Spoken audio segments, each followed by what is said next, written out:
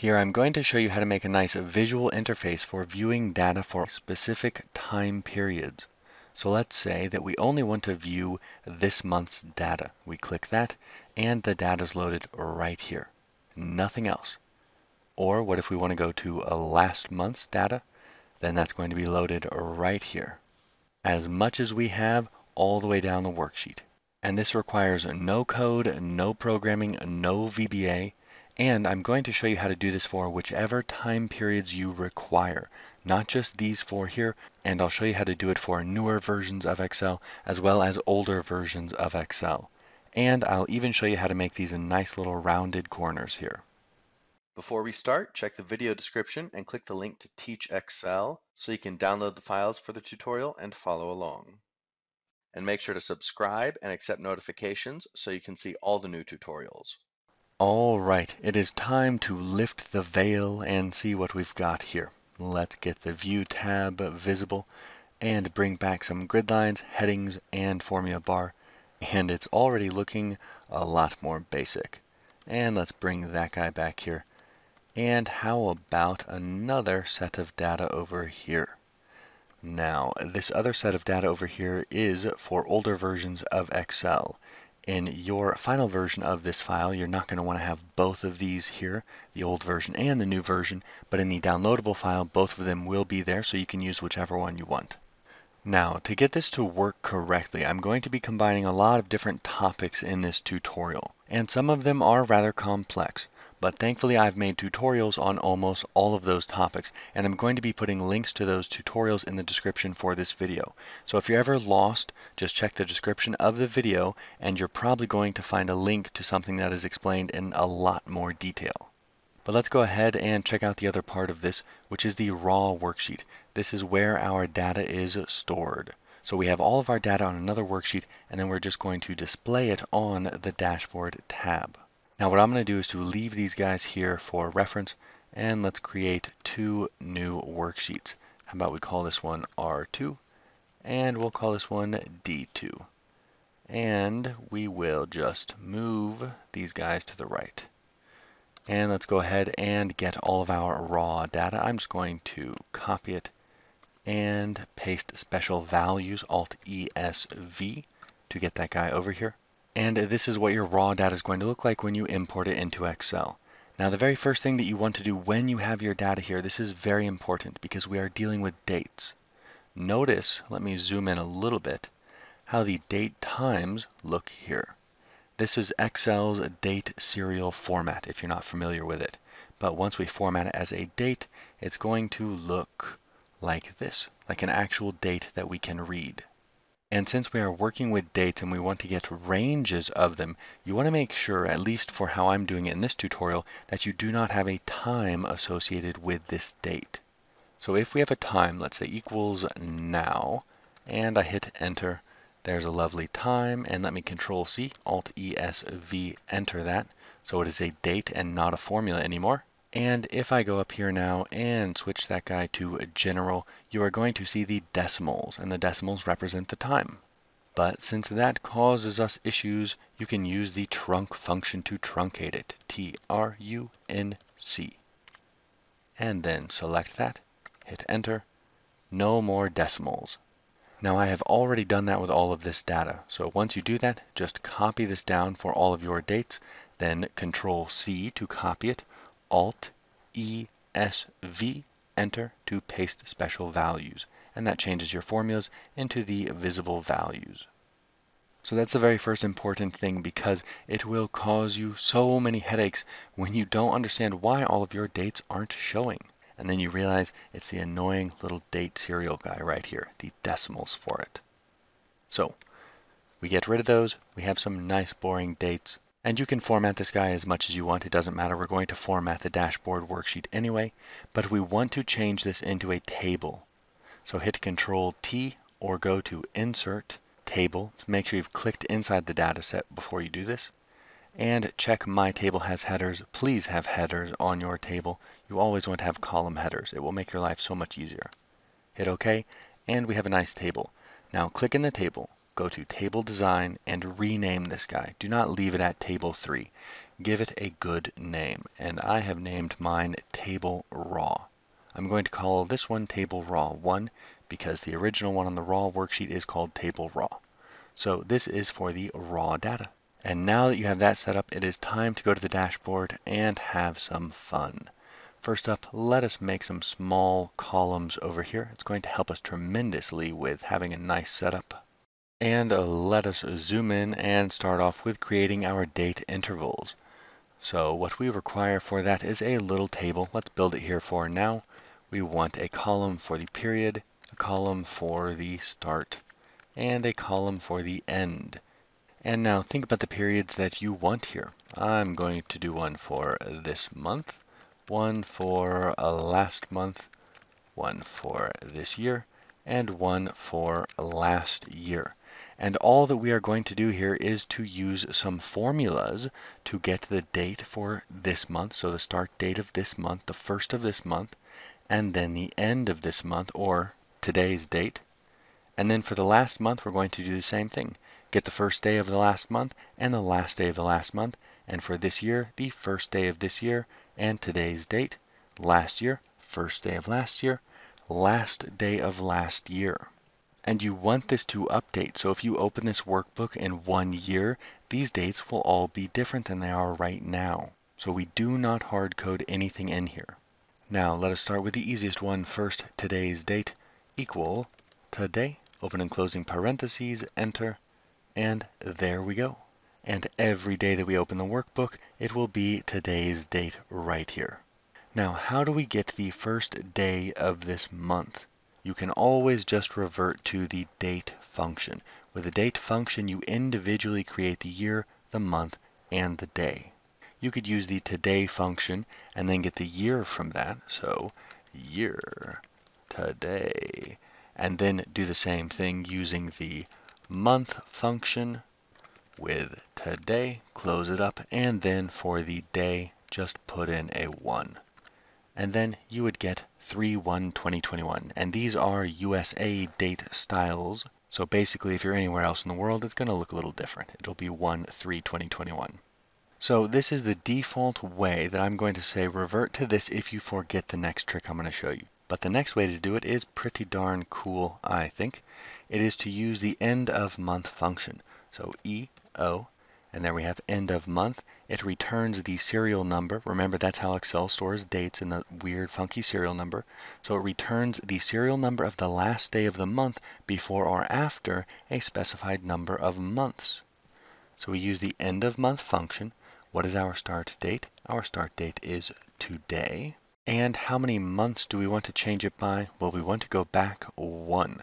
So minus 1. And what does that do? It gets us the very last day of last month.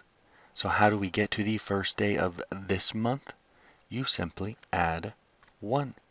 Because the date serial number, 1 is a day. So you add 1 to add 1 day. I hit enter, and there we go, 3-1-2021. A much shorter version of the formula and so it's a bit easier to manage, but it requires remembering how this works, of course. So that's why I say the longer method may be easier to remember a year from now, but I think this is a pretty cool little way to do it. Now, how about the start and the end for last month? This one's going to be really easy. We just copy this guy, paste it in, and instead of going back one month, we go back two months. That's all that we change, that number right there. Hit enter, and there we have our lovely date serial format. Let us make it readable. So short date, there we go. And how about the last day of last month? Well, paste that guy in and remove the plus one from the end of it. And of course, a little bit of formatting is going to be nice. There we go. So the end of month function is quite helpful and it makes it easy for us to manage this. Now for the next guys, let's go ahead and do the easy one first, equals today, because this year can only go up to today. And for the first day of this year, let's go back to the date function, and then year, and then today for this year, and the month, very simple, the first month, the day, the first day. And there we go. And for last year, almost exactly the same. So dates can be tricky, but thankfully they generally follow a pattern. So year, all we do is go right outside that and subtract 1 from that number, and then we get 1 1 2020. And for the last one that we are going to do today, just 12 and 31. And now we have our four date intervals, which will be changing every single day, every single month, every single year. And you add as many date intervals as you want here. And take some time to make sure that you have these formulas right, because everything else that we do after this is going to be based on these formulas. Now let's go ahead and move this to its future home. It is going to be in L5 right here. Now I only know this because I've already built the other spreadsheet. When you are building your spreadsheet from scratch, you're going to be moving things around a lot and making a lot of changes to it. But I know that this guy is going to go over here. And next up, it's time to build our lovely little drop-down menu interface over here. In C3, I want select period. And let's make that guy 16.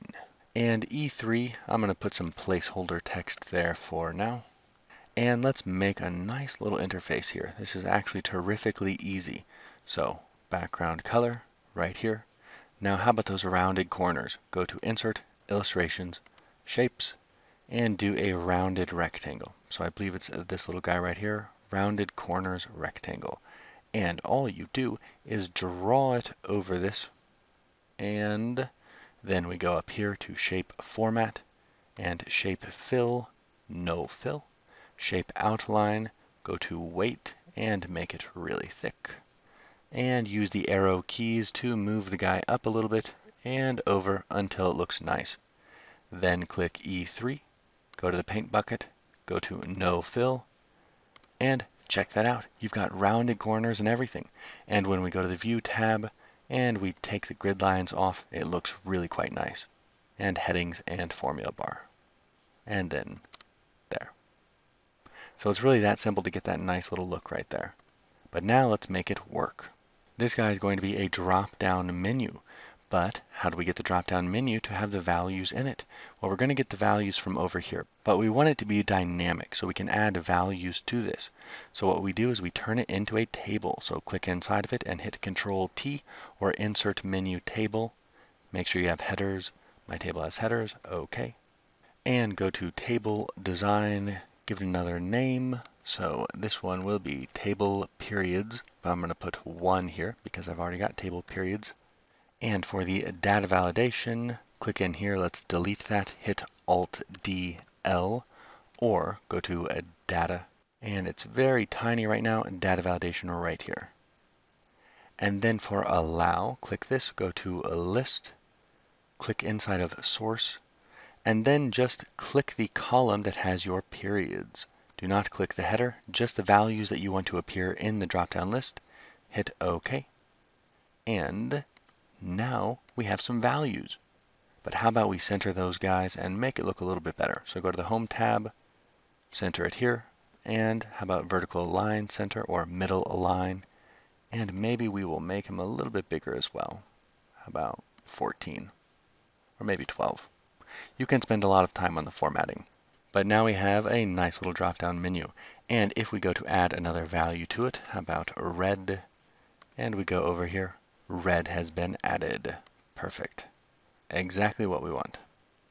So let's back that up and get red out of there. And now it's for the next part. How do we figure out which one of these start and end values we want to use in order to filter our data? We've got a drop-down menu over there. We've got a table over here. It's time for a VLOOKUP. So I'm going to label this as use, this one as start, and this one as end. And here we have just a regular VLOOKUP. So what is our lookup value? Uh, this right here. What's our table array? Uh, this right here. And index number, well, I want the start for this one. Column index number 1, 2, so we put a 2 range lookup false. And for the next one, we do the same thing. Equals, oops, equals VLOOKUP, lookup value, table array. I promise that if you find VLOOKUPs difficult now, if you input them a few hundred times, you will no longer find them difficult. and then false for exact match. And of course, I'll have a link to a video for VLOOKUPs in the description of this tutorial if you'd like to see some more examples of them. And let's go ahead, I'm going to do Control C and then select these and Alt EST to copy paste the formatting.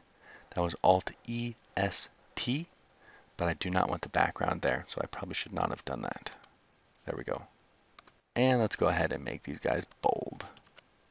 Now how about we make it so that we can hide them whenever we want. Select the three columns, go to the data worksheet, and click group. Now we have this little icon right here, a little minus sign, click it, and it's gone. Click the plus, and it's back. So we can hide the data on the same worksheet really nice and really easily. So it is time to finally put all of this together to show the data. And we are first going to do it for new versions of Excel because it is so, so much easier. And what we want to do is to have our data display right down here. So let's go over to our raw data worksheet and let's copy this guy, Control C. Go over here, where do we want it? Let's go C7, do Alt ESV for copy paste special values, enter. That way we don't carry the formatting. Control B for bold and a little bit more spacing. And here we go. The best thing, I think, to be in new versions of Excel.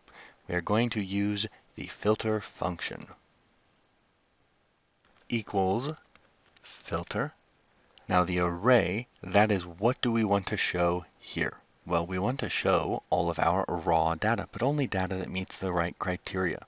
But the array is going to be for all of the data. So go over here, select the table. We can actually just select in here and hit Control Shift down to select all of it. And you'll notice up here in the formula bar, it says table raw one. You want it to say the name of the table. And of course, you could just type that in by hand. So you don't have to go over here and select it. We could have, and I probably should have just done that, gone equals filter and then type table raw. And we see the name of our table right here. So that makes it really easy to use that. And now for our criteria. This may look a little bit confusing, but I have a tutorial that shows you exactly how to do this. I'll put a link to it in the description of this video. We want to make criteria that says, hey, I only want the values from that table that are within the dates that we want. So we do an open parentheses. We go over here to our table where our dates are. And let's go to the top there. Select right under the header. So click one cell right under the header and hit Control Shift down. And you'll notice that we have a lovely table structured reference right there. Then go to the end of it and put a greater or equal sign right there. We're going to be making a comparison. We want these dates to be greater than or equal to the date by which we want to filter, the use start date right here. Then we close up that argument, we put a multiplication sign, and we use our next criteria. Open parentheses, we go back over here, we select the date column one more time. This time I'm clicking the very bottom of the table, nothing else at the bottom of it. Control, Shift, arrow key up. Then I'm going to hold Shift one more time and arrow key down so it does not select the header. And here we want it to be a less than or equal to the end date. This guy right here. Close that up. And we now have the full criteria for our filter function. It's two chunks. This chunk right here, and then uh, this chunk right here. And they are multiplied together. And then we can put something if empty if we want. So if there are no values, I'm going to just put quote, quote. So nothing, and close it up. And let me go over here before I hit enter so we can see. And when I hit enter, all of the data filtered for the date fills in automatically. Look at that. And before we test it out, let's make these dates actually look like dates so that we can verify that everything is good. A short date here, and how about a currency right here?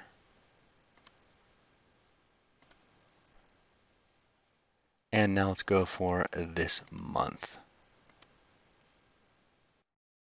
There we go. Now close up this guy right here. Take away some of these ugly grid lines, formula bar, and heading. You're good to go. Now how about this raw tab? Maybe you don't want this. Go ahead, right click it. It's off the screen right now, but right click the tab and click hide. Now let's go back to one we are working on, D2. There we go. This month, uh, last month, and any other date interval that you have here. It is as easy as that. And if that seemed complex and you're wondering why I said that was easy, well, I'm about to show you how you do it for the previous versions of Excel now. Thankfully, everything is going to stay the same except for the formula. So uh, let's bring back the interface, shall we? Bring that guy back. All right, here we only have one formula. It is really just so amazing. It's great. I love these formulas in the new versions of Excel. But life is not so easy in older versions. So let me copy this, go over here, and put this guy in P7. All right, this is where we're going to put the new guy. I am not going to write this one out by hand. I have an entire tutorial on what I'm about to put right here, and of course there's a link to it in the description of this video. What I'm going to do is copy this guy and show you what you need to change. The other tutorial, the whole tutorial is just about explaining how, how this guy works. So let me zoom in a little bit and you'll see how gnarly it is. It is this. Look at all the functions that we use. If error, index, small, if, row, anything else, looks like it's it. But of course we use row three times. Why do we do that? Oh, it's a lovely little confusing reason. But the really, really important thing here when you have this is that this part right here, let me get it all in one line here. This is the same as the criteria that we made for the filter function. So we selected the date column in the table and we said, hey, I want you to be greater than or equal to our, where are we? The date that is right here, the start date. And then we multiplied it by the same thing, the date column that is less than or equal to the end date. And some other things in this formula that you need to make sure that you update the location of the raw data. Here it is table raw. And then over here we have another table raw. And this is very important. This row reference right here needs to be the same row as, let me get the raw data back, right click unhide. So that row reference, row A2, needs to be the starting row for your raw data. That's really kind of confusing why you have to do that, and I'm not going to explain it here because it is complex, but the tutorial that I linked to in the description of this video explains that thoroughly. There are actually going to be many links in the description of this video, and all of them will help you more thoroughly understand the little topics that I cover here. Now let's finish this guy up.